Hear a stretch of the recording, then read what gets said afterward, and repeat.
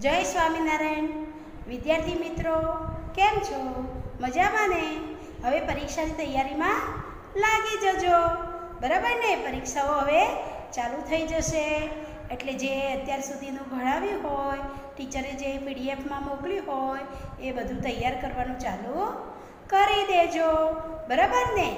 તો આપણે વિષય અંગ્રેજીમાં ગયા લેક્ચરમાં આપણે યુનિટ નંબર ચોત્રીસ સુધી ભણી ગયા.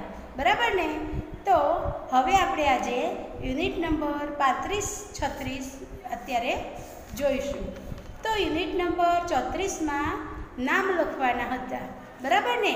તો નામ તો આવડી ગયા હશે. આવડી ગયા છે? જો ન આવડ્યા હોય તો બારાક્ષરી, એટલે જે મૂળાક્ષરો મેં મોકલ્યા છે. બરાબર ને?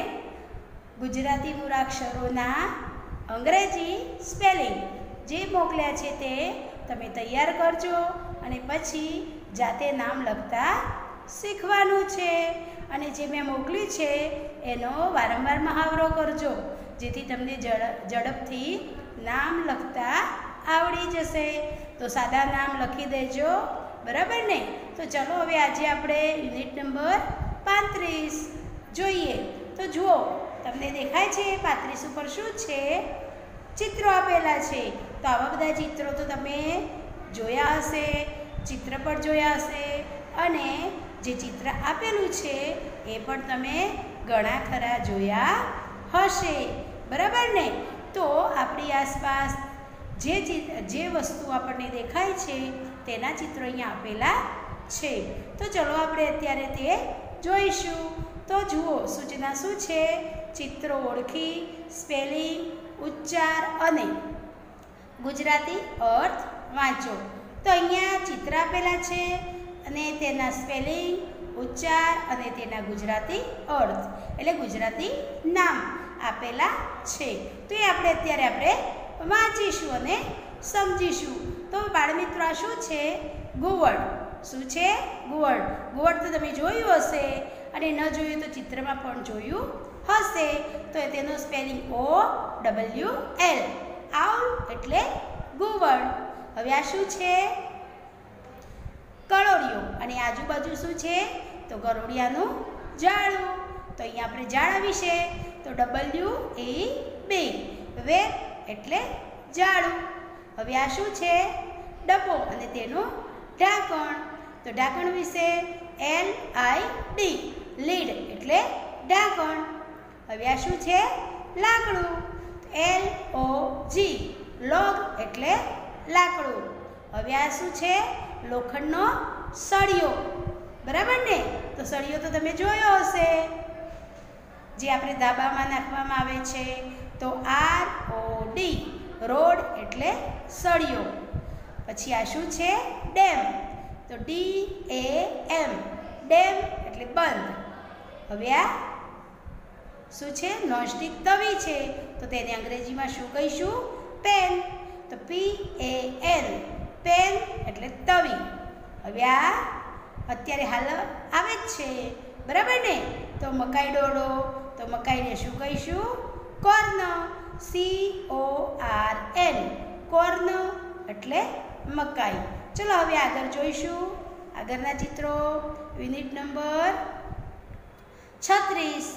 તો તેના પર ચિત્રો ઓળખી સ્પેલિંગ ઉચ્ચાર અને ગુજરાતી અર્થ વાંચો. યુનિટ છત્રીસ. આ પણ આપણે અત્યારે વાંચીશું. બરાબર ને? તો ચલો જુઓ તો શું છે? બી ડબલ ઈ. બી એટલે મધ માખી. આ શું છે? ટાળ. હિન્દી પેન. પહેલાં હિન્દી પેન. હવે આપણે આ બોલ પેન આવી ગઈ. બરાબર? પહેલાં આવી પેન વપરાતી હતી અને તેમાં શાહી ભરવામાં આવતી અને આજે છે એ ટાંક કહેવાય અને એની નીચે જીભ આવતી, બરાબર? તો અહીંયાથી સહી આવે અને અહીંયા પેન લખે. તો નીબ એન આઈ બી, નીબ એટલે ટાંક. હવે આ વટાણા, પી ઈ એ એસ, પીસ એટલે વટાણા. તો બાર મિત્રો, અહીંયા છાપવામાં ભૂલ છે. અહીંયા સ તો જ આવે એમ તો પી જ. શું આવે? જ. પી ઝ એટલે વટાણા હવે એમ ઓ પી. મોપ એટલે પોતું. આગળ આ શું છે? પીપ છે, બરાબર ને? તો કે ઈ જી. કે એટલે પીપ. બંધ એટલે પાઉ. B U N. બંધ એટલે પાઉ. પછી ગમ. આ શું છે? શેની બોટલ છે? ગમ એટલે ગુંદરની. તો જી યુ એમ ગમ, ગુંદર. હવે આ શું છે? કેન. દૂધ ભરવાનું કેન. તો સી એ એન કેન એટલે કેન. બરાબર ને? તેને આપણે ગુજરાતીમાં પણ કેન જ કહીએ છીએ. તો ચલો હવે યુનિટ નંબર સાડત્રીસ પર જોઈએ. તો બાર મિત્રો યુનિટ નંબર સાડત્રીસ પર. જે અત્યારે હાલ આપણે વાંચ્યું અને સમજ્યા, જે ચિત્રો આપણે મેં તમને બતાવ્યા, બરાબર ને? એ ચિત્ર પરથી જ અહીંયા આપણે તેના ગુજરાતી અર્થ સામે અંગ્રેજી ઉચ્ચાર લખીશું. તો એ ગુજરાતી નામ આપેલા છે. હવે તેનું આપણે શું કરીશું? ઉચ્ચાર લખીશું. તો કેન, તો કેનનું શું થાય? કેન. બરાબર ને? પછી ગુંદર. તો ગુંદરને અંગ્રેજીમાં શું કહીશું? ગમ. શું કહીશું? તો ગમ. તો અહીંયા આપણે ગમ લખીશું. ગમ. પાઉ. તો પાઉને શું કહીશું? બન. પીપ. તો કે મધમાખી. બી ટાંગ તો નીબ વટાણા પી ઝ પોતું મો પ ગોવડ આ ઉ લ આઉલ મકાઈ તો કોર્ન કોર ન. તવી. તો તવીને પેન. લખવાની પેન નહીં, બરાબર? અંગ્રેજીમાં તેને પેન કહેવાય. જાડું. તો જાડાને શું કહીશું? વેવ ઢાંકણું લી ડ બંધ. ડેમ, લાકડું લો તો જુઓ બાર મિત્રો, આપણે અહીંયા ગુજરાતી અર્થના અંગ્રેજી ઉચ્ચાર લખ્યા. હવે આપણે યુનિટ નંબર આડત્રીસ જોઈશું. તો આડત્રીસમાં અંગ્રેજી ઉચ્ચાર સામે ગુજરાતી અર્થ લખો. જો એ ગુજરાતીનું અંગ્રેજી લખ્યું, હવે અહીંયા અંગ્રેજીનો ગુજરાતી અર્થ લખીશું. તો ચલો તૈયાર છો ને? તમે પણ તૈયાર કરી દેજો અને સ્વપ્રયત્ન લખતા પણ શીખજો. કારણ કે પરીક્ષામાં આ પ્રમાણે તમારે આવવાનું જ છે. બરાબર ને? અને ઓક્ટોબરમાં પરીક્ષા લેવાશે. તો તમારે પણ તૈયારી કરવી પડશે. તો ચલો હવે શું છે આ રોડ? તો રોડને ગુજરાતીમાં સળિયો, કોર્નર, મકાઈ. પેન તવી વેબ જાળું લીડ ઢાંકણું ડેમ બંધ લોબ લાક લાકડું ગમ ગુંદર બન પાવ બી મધ માખી નીમ ટાંક કેક પીપ પીસ એટલે અહીંયા જ આવે ને હા પીસ વટાણા આ ટ છે ય થઈ જાય મોપ પોતું. આઉલ ગુવડ જો બાર મિત્રો, અહીંયા આપણે અંગ્રેજી ઉચ્ચારની સામે ગુજરાતી અર્થ લખ્યા.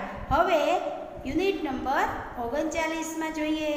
તો યુનિટ નંબર ઓગણચાલીસમાં અંગ્રેજી ઉચ્ચાર સામે સ્પેલિંગ લખો. તો પહેલાં ગુજરાતી અર્થના અંગ્રેજી ઉચ્ચાર લખ્યા, અંગ્રેજી ઉચ્ચારના ગુજરાતી અર્થ લખ્યા. હવે આપણે અહીંયા અંગ્રેજી ઉચ્ચાર આપેલા છે. તો તેની સામે આપણે તેનો અંગ્રેજી લખીશું. એટલે અંગ્રેજી સ્પેલિંગો લખીશું. બરાબર ને? તો શું છે? કેન સી એ એનની બ N I B. Owl. O W L. M O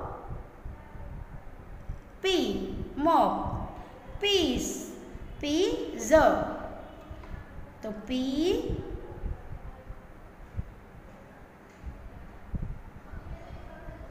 E A S. Peas એટલે વટાણા. કેક. કે ઈ ઝી. કેક. એટલે પીપ. Rod. R. O. D. Rod એટલે સળિયો. Lid. L. I. D. Lid એટલે ઢાંકણ dam. D A M dam એટલે બંધ. Bee B double E bee એટલે મધમાખી. Pen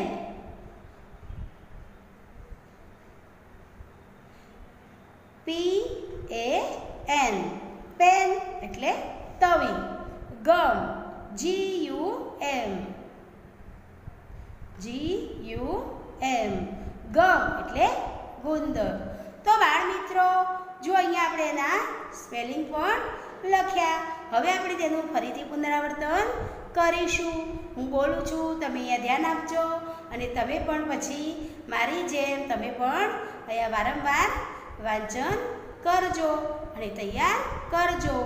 કેન કેન ગુંદર ગમ પાવ બંધ પીપ કેક મધમાખી બી ટાંક નીબ વટાણા, પીસ, પોતું મોપ ગુવડ આઉલ મકાઈ કોર્ન તવી, પેન, જાડું વેબ ઢાંકણું, લીડ, બંધ, ડેમ, લાકડું, લ. યુનિટ નંબર આડત્રીસ. રોડ સરિયો, કોર્ન, મકાઈ, પેન, તવી, વેબ જાડું લીડ, ડાકણો, ડેમ, બંધ, લોગ, લાકડું, ગમ, ગુંદર, બંધ, પાઉ, બી, મધમાખી નીબ ટાંગ, કેક, પીપ, પીસ, વટાણા, મોપ, પોતું આવ ગુવળ. Unit number ઓગણચાળીસ.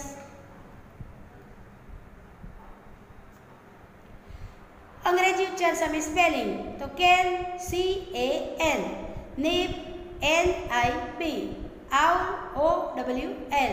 Mop, M, O, P.